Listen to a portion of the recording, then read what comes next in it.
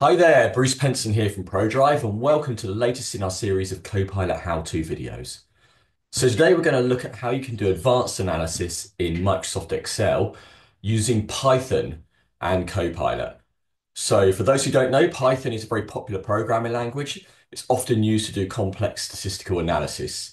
However, for most Excel users, they don't have programming skills, and therefore some of this functionality of Python is generally speaking out of their reach. The good news, however, is that Microsoft 365 Copilot now includes the ability to create Python script within Excel, and you don't need to have any Python knowledge to do this. So we're going to do a demo today using some Excel data and creating some forecasts using Python um, through using Microsoft 365 Copilot. Okay then, so what you can see here is uh, some demo data. These are uh, some food product sales in the US um, split by region, uh, north, south, east, west. And what you can also see is we've got quite a lot of data here.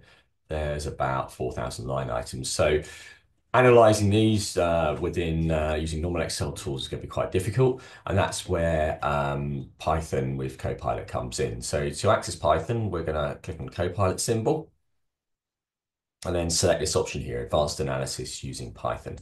When we click that and click Start Advanced Analysis, it opens up a new tab in Excel.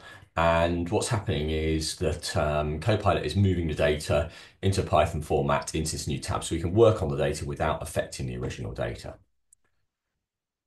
So what we're going to do now is perform a bit of analysis on that.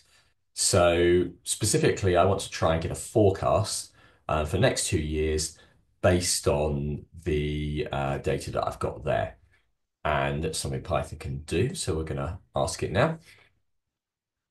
And um, it takes a little while to work on on this with Python, so it takes a minute or two to get the responses, and uh, and there we go.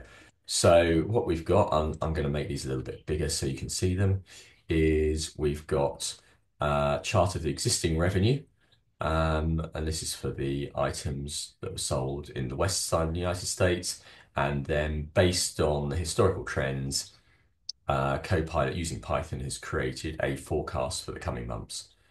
Um, so really, really handy there. Um, I can get rid of that. And now I can do a little bit more analysis on that if I want to. Um, I can ask to, um, say I wanted to decide which products I got the best chance of upselling, of selling more of. Um, I can ask that as well. So let's have a quick look there. And again, Copilot will use Python to get to this. Um, you can actually see the Python code if uh, that's something that interests you. As I said earlier, it doesn't mean an awful lot to me. But then we get this chart um, of items we can upsell on the rank. And so that's really useful. What we can do then is we can ask it to Copilot to turn it into a bar chart. And what I've also asked there, you'll see this, I've just asked Copilot to also explain the methodology used to create this ranking because that's something that would be useful to know. So there are the upsell products and and here's what it's done. So it said score was calculated for ratio potential total sales average price unit. Okay, so that's the end of the demo. Um, as you can see, uh, Python gives you some really amazing power in Excel to do advanced analysis of data. It's brilliant for the accountancy, financial services sectors. And no longer do you need that Python knowledge to do it. If you have Copilot, you can use that um, to analyze within Python code. If you're interested in uh, learning more about Copilot or um, having one organizing one of our Copilot discovery workshops to see how Copilot could work for you, then do get in touch using details on the website or in the corner of the screen here. Thank you very much.